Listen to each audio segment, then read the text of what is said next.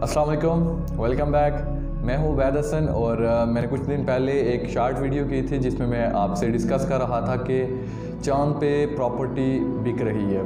क्या वो सच है या फेक है?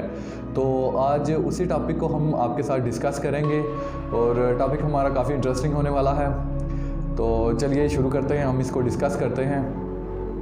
आप इस इंसान को देखें। इसका नाम है जी डेनिस होप और ये इंसान अपने आप को चाँद, मार्स और वेनस और बाकी और भी प्लैनेट्स उनका ओनर कहता है। अब इसको ओनर बनाया किसने? इसको ओनर किसी ने नहीं बनाया, इसने अपने आप को खुद ही ओनर बना दिया है। तो इसके पीछे असल वजह क्या है? इस डेनिस होप को किसने ओनर बनाया? तो हुआ क्या था? हुआ ये था कि 1967 में क्या वजह बनी थी? एक ट्रीटी बैठी थी, जिसमें ये डिस्कस हुआ था कि कोई भी आउटर स्पेस में जो भी पहला कदम रखेगा या जो भी पहले आउटर स्पेस में जाएगा, चाहे वो मून हो मार्स हो, या बाकी जगह हों, जो भी प्लैनेट्स हैं उन पे तो वो अपने आप को ओनर नहीं कह सकता।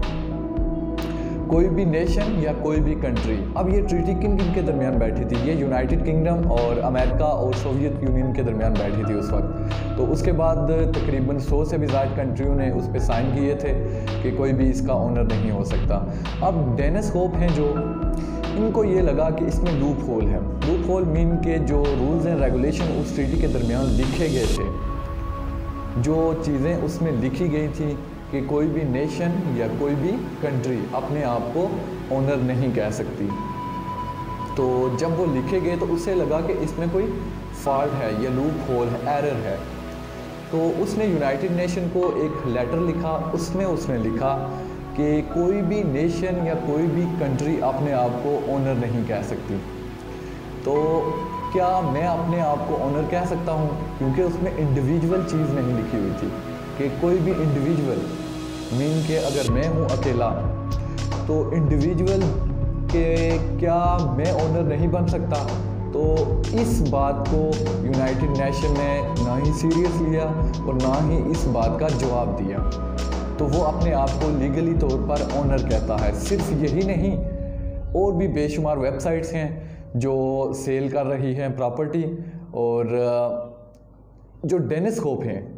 ये अपने आप को लीगल ओनर कहते हैं। और ये भी कहते हैं कि कोई भी अगर ओनर बनना चाहता है तो वो यूनाइटेड नेशन को लेटर लिखे, पहले। तो ये कुछ बातें थी जो आपसे डिस्कस करनी थी।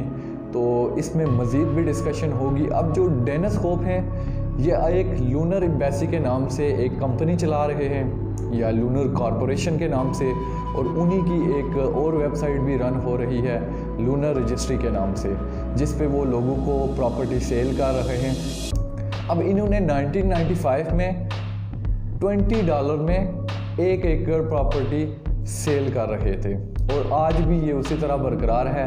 तकरीबन ट्वेंटी थर्टी और फोर्टी फाइव डॉलर आप वेबसाइट को गो थ्रू करेंगे तो उन पर आपको काफ़ी सारी इन्फॉर्मेशन मिल जाएगी। और आप खुद समझदार हैं कि क्या ये फेक है या लीगल है।